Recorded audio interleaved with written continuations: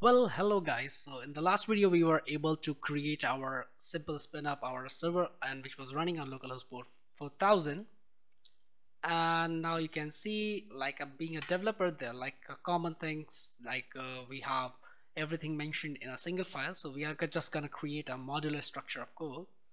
So instead of this port variable, we can pull it from our environment so that on some uh, on some part of that we can directly get it from there. Otherwise, we can we can use it from our environment so I'm just gonna get rid of for now from here and within our configuration since we have already installed a package called .env I'm gonna bring in config uh, config function from our console our this .env package .env package. And then we are gonna create a variable. We this config function will give some kind of will invoke that config function and will it will give me an object. So from that object I'm gonna I'm just interested in this parsed variable so this will contain all the keys and values of this our environment whatever we will register over here. So I'm gonna say for our application port will be our 4000 and this is the application port. And now we can access that as a parsed.port port so from here I'm gonna export a, export some variables. Export const and this object will contain and this whatever we will define everything will be pulled in from our parsed variable. So that whatever we have it over here. So we are pulling our port. And as I do this everything is well formatted from my linters and I'm gonna import that. So as I do here import from our config. And since it is in our index.js file so it will automatically pull, pull it up this file and if I write p you can see that is already here.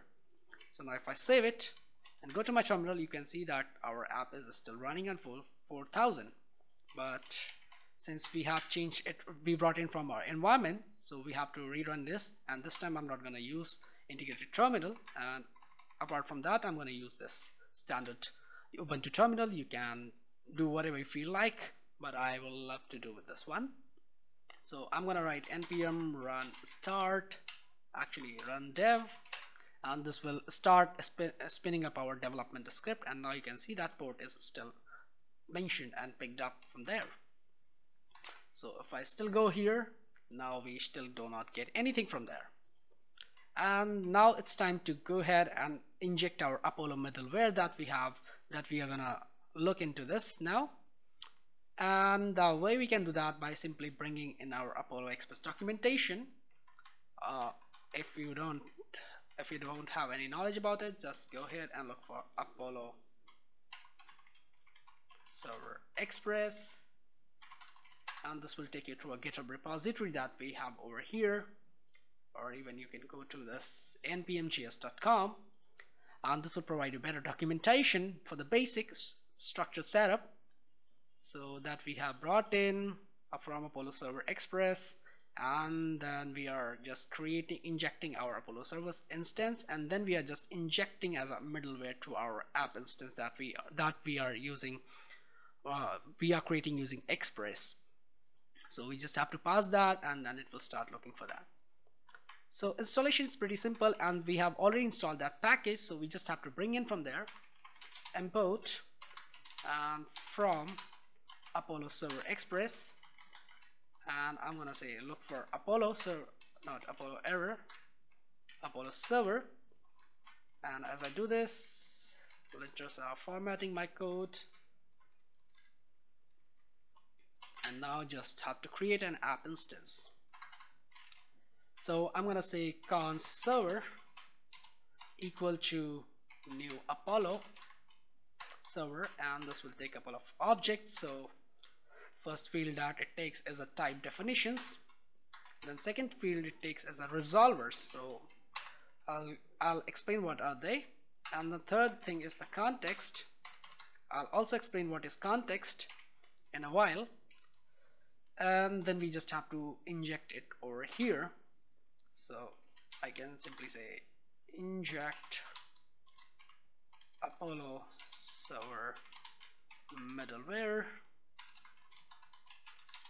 on express application.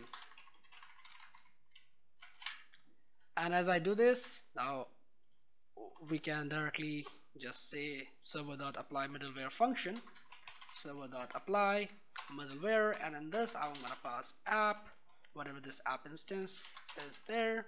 And since we are using ES6 so if the name and the value has the same uh, same name we can directly pass it that way. And as I do this now you can see I'm just gonna get a weird error over here. Type definitions is not defined. So type definitions since and remember when we when we discussing in the previous video that we when we are going through the doc diagram I explained that everything is statically typed over here. So we have to define our type definitions. And you can also look into this documentation that we have on our node.js or node.js npmjs.com so this is our type definition. And then this is some kind of type so this is a function that will return some string. So we have to specify that too. And then this is a resolver. So resolvers are basically those functions that are going to deal with that function. So hello is the name uh, that we defined in our query. And then with that query we are sending just a simple string. So let me quickly copy just for this thing. And then I'm just gonna get into this. Just gonna paste it over here. And also gonna bring in just GQL from our Apollo server. So here GQL so this will basically is defining our schema or something like that but it's working just fine. And as I do this now you can see that our server started on port this much without any error. So now in a browser if I go to this slash endpoint called GraphQL you can see this GraphQL playground is now started and this GraphQL here we can this is a playground where we can test our queries and it provides a lot of documentation too. So since currently we have one query which returns a string from there and we can also see the schema. So whatever the schema that we want to create we can mention those things here. So it's a kind of a documentation whatever we have on the server defined it will be automatically pulled up over here for the development purposes. So let's it's time to go and execute a simple query. So we'll simply say query and we'll name it hello. And this will give me hello. So as I write this you can see that uh, that is automatically. So basically we are calling this query which we have defined over here. And this is returning a hello world string. And now if I play you can see this hello world is there so let me quickly go to my settings and instead of font 18 I'm gonna make it to 20 and I'm gonna save it. So this looks quite better and bigger. We can also define our uh, additional parameters like in HTTP headers if we are dealing with some kind of authorization token or something like that we can define those things here then we have a query variables too. And we can we'll look into those things later in this video series. So now it's time I I don't since we are going to build a very big project that means uh, we cannot define everything within a single page. So that's why we are gonna follow this modular code structure uh, code structure.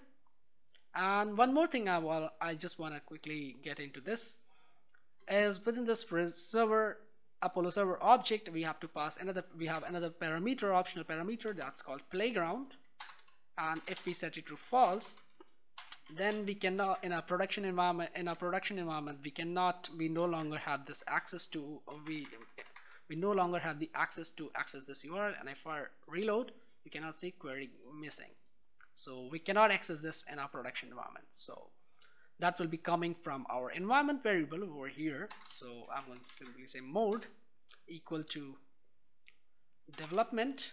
And while you are deploying you can make it to prod and then look for the value, value over there so in our parsed I'm gonna look for mode and then I'm gonna pass another variable called in prod equal to mode equal to equal to prod. If it is a prod not equal to prod then it will be true. And now we can pull in that there and our main root and we'll pass it as a playground parameter. So we can see in prod and now if I save it and if I reload it we are able to see our Apollo GraphQL server. And, and if I go ahead and rename it to prod so if I say it prod now if I reload we have no longer access. Actually I have to break the server because environment variables need when we change any environment variable we have to change we have to restart the server. So now if I go to my browser and reload it now we no longer have this have the access to this. So let me qu quickly revert it back and we'll put it to dev. And let me press ctrl C and rerun this server so that's basically it for now and now let's go ahead and we'll start creating a query in our configure in our GraphQL folder. So basically instead of this I'm gonna create a new file called uh, actually a folder. So resolver. And within that I'm gonna create a new file called index.js and this folder is there now. So this is our resolver and I'm also gonna create a new folder called uh, basically type defs. And within that I'm also gonna create a new file called index.js so this will be our export from there. And then we'll pull it over there and we'll do a lot of stuff. So I know you this might be pretty much confusing but this is a better folder structure I will say. And I have been following in my production and applications too so now in our type definition this is gonna export default uh, GQL string. And to use this thing we have to firstly bring it from our Apollo server. So we are gonna bring in our GQL from actually this wouldn't be this. We'll be exporting a default array from here and from our Apollo server express. And as I do this this will be our export default from there. And the same way in our index.js this is gonna be exporting default an array and later we'll look into what kind of array that we are gonna use that. And now once they are exported from there we are gonna import resolvers from our resolver folder. So it will automatically pull up this index.js file that we have there and receive that export default statement. And also I'm gonna import our this type defs from our type definition. So it will also automatically pull up this thing that we have this type definition index. And then we are going to export default. So export default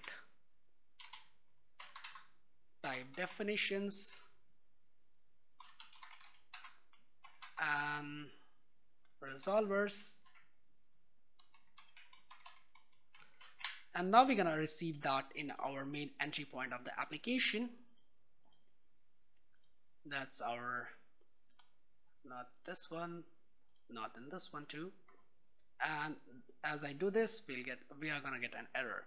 So instead of these variables I'm just gonna get rid of these two and I'm gonna import from our this GraphQL.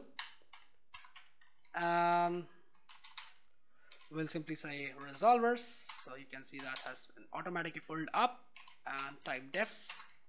And now we, we are just just applying it to our Apollo server variable that we have created. And as I do this you can simply say ours you will find a weird error.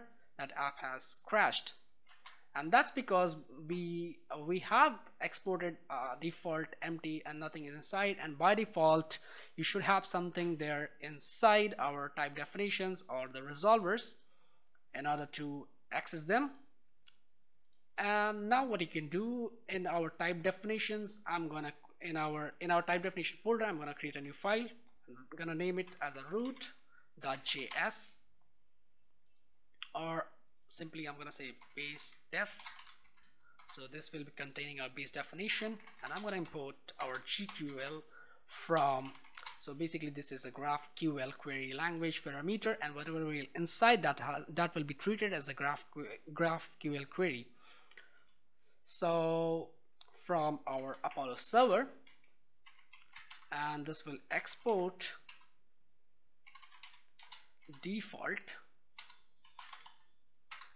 and that will export this GQL language. And this since it is our root will say type query. And then also type. Actually for now mutation that's fine for us. And within that query whatever let's create our hello function. And this will return a string. And that should not be null since it is statically typed and same we'll do in our resolvers. I'm gonna create a new file called mm, for now let's say post.js actually let me rename it to post.js and this will export default function. And within that function it will have a parameter called query. And with that hello function we can use arrow function and we'll return something called hello from GraphQL. And we are not done yet. We have to register in our root. So we'll import our post from our post that we have inside the same directory and then we'll pass it over there. So we'll simply say post. And the same we have to do over here so whatever we have defined there we have to simply import that base defs from our in the same directory base defs and then we have to export it there. And as I save it okay this will yeah actually here we don't need this import statement. And as I do this now you can see that has still that has created exported name type definitions. So we have to see why are we getting that. So from our index.js these definitions and we are exporting our array. Yeah I forgot to do just a bit of markup. So by default that query has to first of all take a parameter and that should be string and the same we have to do with our type mutations. So since it is a root we have to pass it that. So everything whatever we'll send that has to be our query. Then we can also listen for subs subscriptions. And subscriptions I'm also learning so I cannot talk much about that in this video but I can teach you about directives how you can create those custom directives throughout this video series. And now if I save it we are still getting we are still getting that thing. So GraphQL uh, doesn't provide name export named type definitions. So in our type exporting a default object from there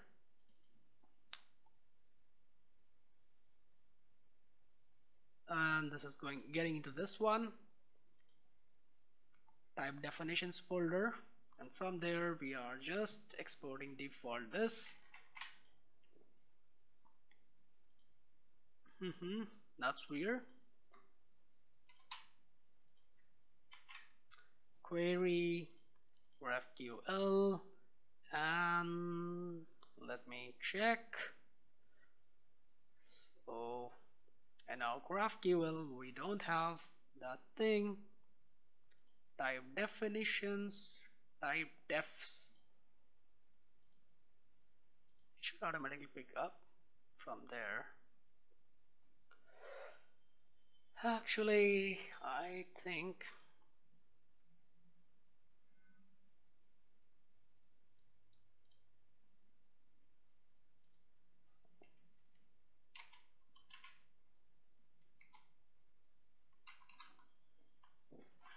we are exporting an object. Okay so instead of that we'll simply say export type defs as type defs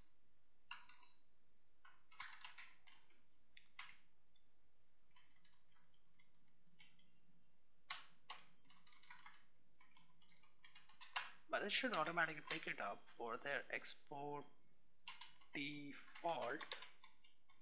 So save it. Let's check we have that thing. Since we have already imported that we should automatically get it from there. And there's something wrong with my code. I think from the same directory resolvers we get into type defs base definition mutation string that's fine for us and it's just looks fine okay so I think there's some weird issue going on. Something is very fishy. And that will just gonna debug that. So from our GraphQL we are pulling up we are going to this index.js file.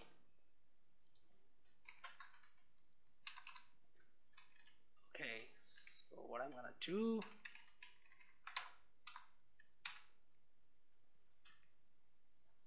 let's put a console log state statement. And see type defs what do we have there? And now I'm gonna save that. Just see what happens behind the scene.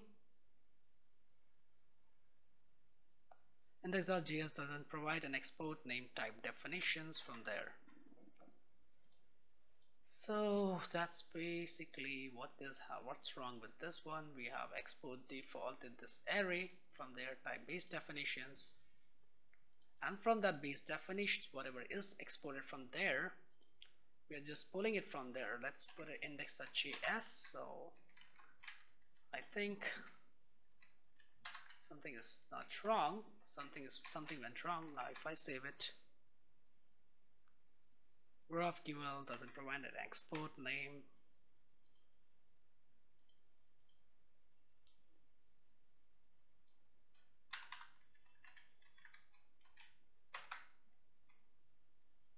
Okay so this is fishy type def is declared but let's see what do we have inside that.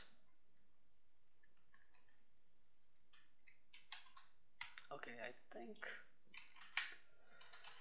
export const I will say type defs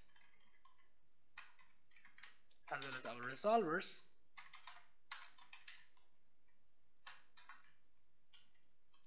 Okay so we were default exporting it from our that thing and export const now this should work fine.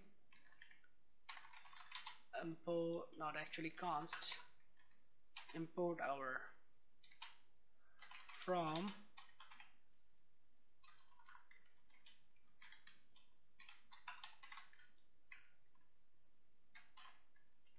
type definitions. Let's see what do we have there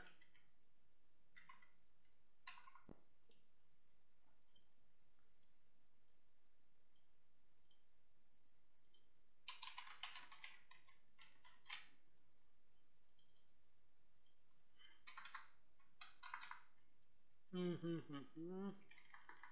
That's weird.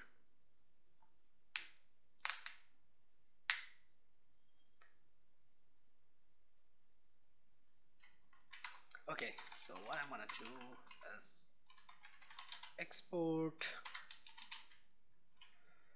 type defs from as type defs from our whatever we have here. And the same I'm gonna do with the resolvers. So this will get into the resolvers.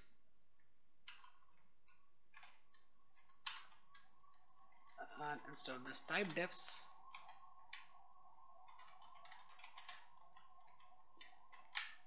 so we're exporting it. Still we are getting some error. Okay leave it. Instead of this index.js file I'm gonna get rid of this. And inside our type definitions I think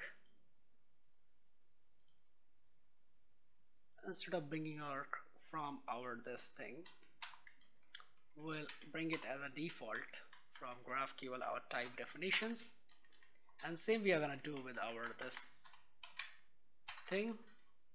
Later we'll if we come back to this part so I'm gonna say resolver.